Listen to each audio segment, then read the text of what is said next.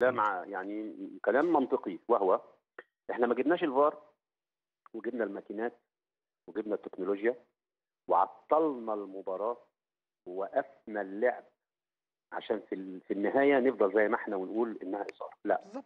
يفترض. بعد ما جه الفار وبعد ما استعنا بالأجهزة وبعد ما وقفنا الماتش وبعد ما قللنا المتعة الكلام ده لازم يكون له ثمن. الثمن إيه؟ هو العدالة. العدالة يعني ما ينفعش ضربة جزاء تبقى موجودة وما تتحسبش. ما ينفعش ضربة جزاء تتحسب وهي غير صحيحة ما ينفعش هدف يتحسب من تسلل. وما ينفعش كرة تعدي خط المرمى وتخش تبقى هدف وما تتحسبش. ما ينفعش لاعب ما ينطردش وارتكب مخالفة تستحق الطرد وما ينفعش لاعب ياخد انذار أو ياخد بطاقة حمراء وما يكونش هو اللي ارتكب المخالفة تتاخد بالغلط هي دي الأربع حاجات اللي الفار بيعملها. واللي يفترض إنها يقضى تماما بنسبة خلينا نقول 99% مم. على هذه الأمور.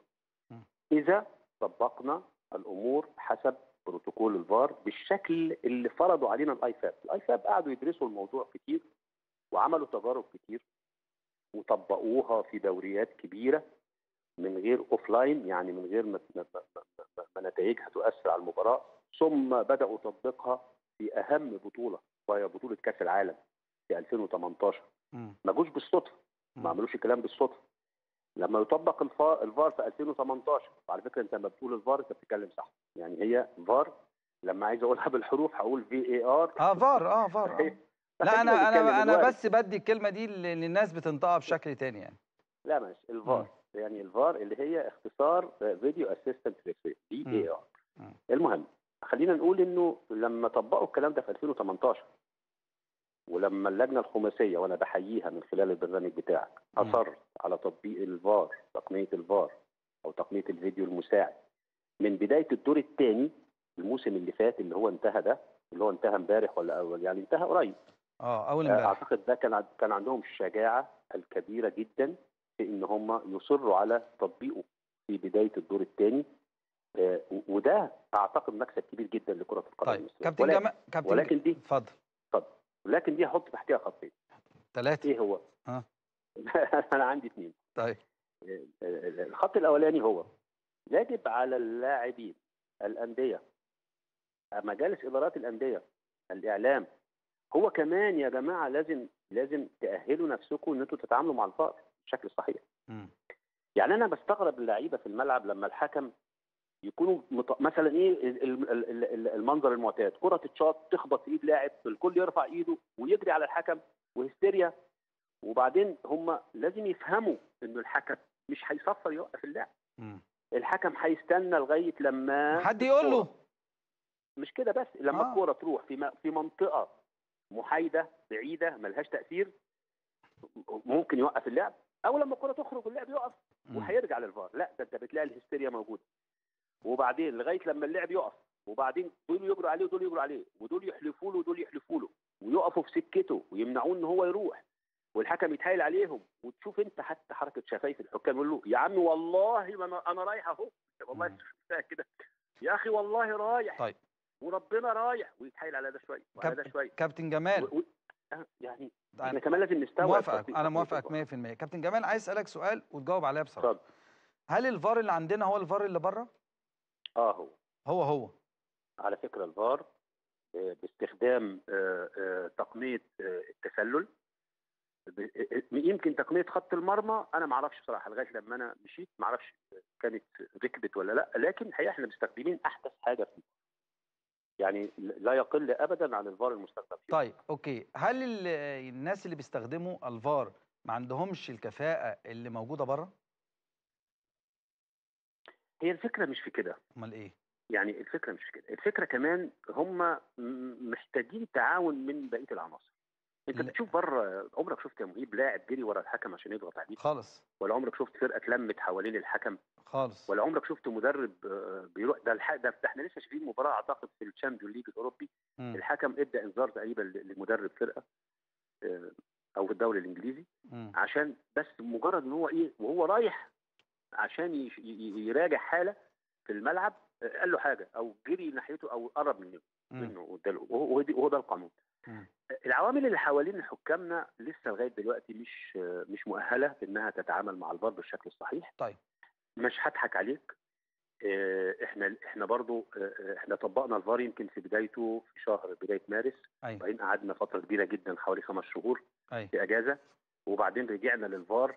آه، كان الناس مريحة. آه، الفار محتاج على طول تدريب مستمر محتاج مباشرة مستمرة محتاج تصحيح مستمر محتاج إدارة مستمرة للفار تكون موجودة مع الحكام ومراجعة أخطائهم بشكل دوري ونستفيد من اللي حصل ونجيب الحالة عن طريق التسجيلات زي بالظبط كده الصندوق الأسود اللي في الطيارة ونقعد نشوف ال- المفروض اتدخل قد إيه الوقت خد وقت قد إيه دور كل واحد عشان برضو انت بتتكلم 100 واحدة كده عندك حق فيها لازم نلتزم. يعني الفار حكم الفار هو المسؤول عن إن هو يتكلم فنيا. حكم الفار المساعد ليس له أي دور غير إن هو يراقب الشاشة ده بقى أخطر. يا. كابتن يا كابتن جمال حكم الفار بقى أخطر من حكم الساحة؟